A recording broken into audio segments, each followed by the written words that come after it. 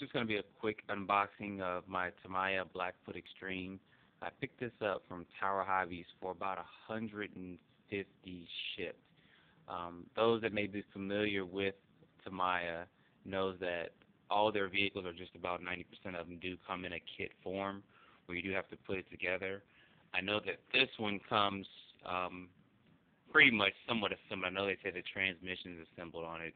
But um, I got this because I've always liked Tamiya. My first kit was a Monstermobile, and I hope they actually do do a re-release on that. But I also like the way the Tamiya Blackfoot Xtreme bodies look. Um, I know it's a little bit different than their the Blackfoot 3 and I think the King Blackfoot and Supreme Blackfoot body, so it kind of makes this one stand out a little bit. They've always done a good job on their boxing and also the decoration of their boxes, kind of the way they lay everything out on it. So go ahead and pop this open and see what Tamiya's packed in here. It's been years and years since I've actually had a Tamiya kit, so this will be um, an interesting build. Uh, they include a electronic speed controller. That's what this is right here. Um, probably won't be using this at all. This can handle uh, 7.2 volt nickel metal or NiCad battery pack, and also I think a brushed motor. I think the specs said down to probably about a 22 turn brush motor, but I probably won't even bother putting that in there. I have a brushless system. I'll go ahead and throw it in there. So um, I don't know, maybe put that on Craigslist and get rid of it. Uh, look in here. Oh, they give you an antenna tube. Um, what's in this. It's pretty heavy. Seems like this is most of the screws and stuff that actually come in the kit. Let's see what's in this.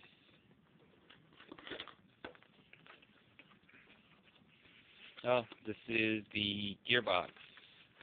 Um, yeah, they pre-assembled the gearbox. Um, I'll probably have to take this apart and put ball bearings in it because yep, you can see right there it does have plastic, not even metal bushings inside the gearbox. So I'll have to disassemble this and put some ball bearings up in there. And of course, the motor is definitely going to go. I may actually get it running as a brushed version first, and then go ahead and make it brushless. But um, I'll decide on that in just a little bit. What else is in here?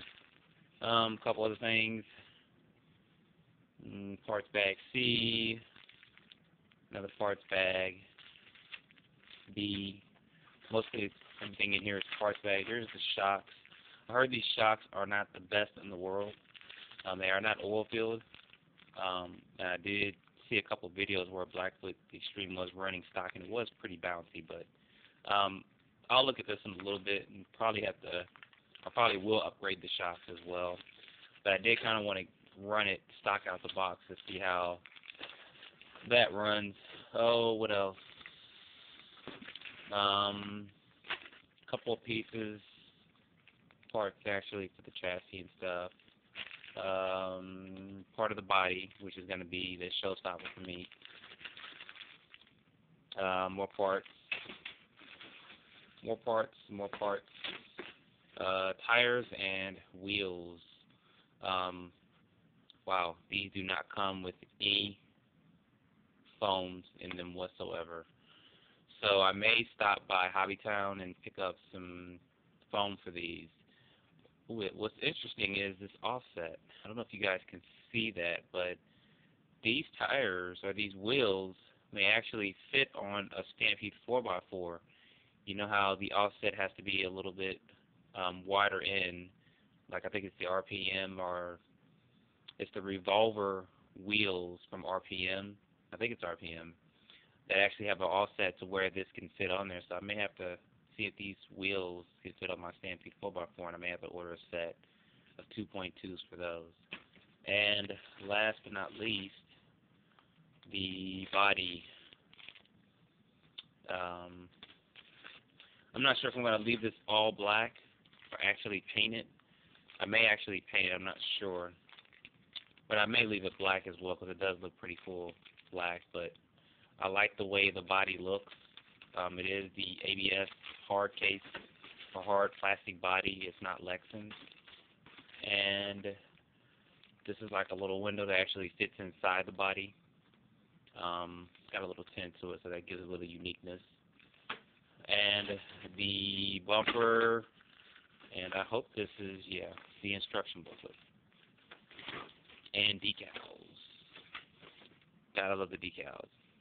So, I'm going to look through this book real quick, um, see what kind of bearings I need to put on it because I have a whole bunch in the room, and start to build on this, and hopefully I'll have it built by the end of the night and get it up and running by tomorrow and probably take it to the track with a brushless system in it.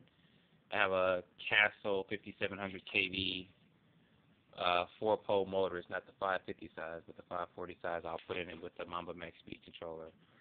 So stay tuned for a couple videos on this.